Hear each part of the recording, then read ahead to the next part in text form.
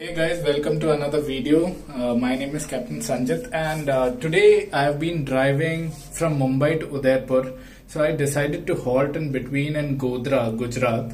And uh, you know, I found an unexpected luxury budget hotel. And actually it has exceeded my, uh, you know, expectations. Uh, so let's have a look guys.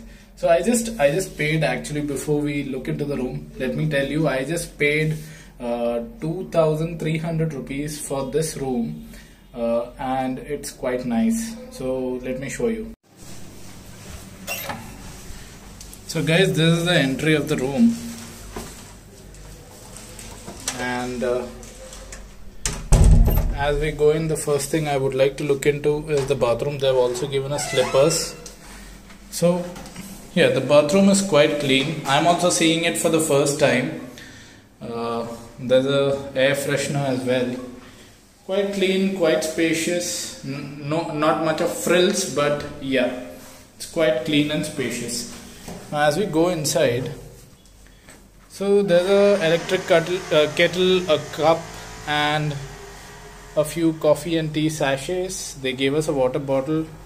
Now they've given a few toiletries as well uh, which is actually unexpected in this price. And uh, the menu card let's look. Uh, the only issue is i'm a i'm a non-vegetarian and it's all veg but I, it's okay. So this is the menu card and the prices seem all right. This is the price of the laundry. Okay they have given laundry bags also. So it's a nice uh, queen size bed there's some space to sit. The small cupboard. Ample charging spots. The room is well lit as well. And there's again a st study table and a TV so it's quite nice. Let's have a look uh, at the view. So not much of a view though. Uh, I don't think the windows open either. Yeah the windows are locked. But yeah uh, not much of a view but this is the room so it's quite nice guys for the price they have given.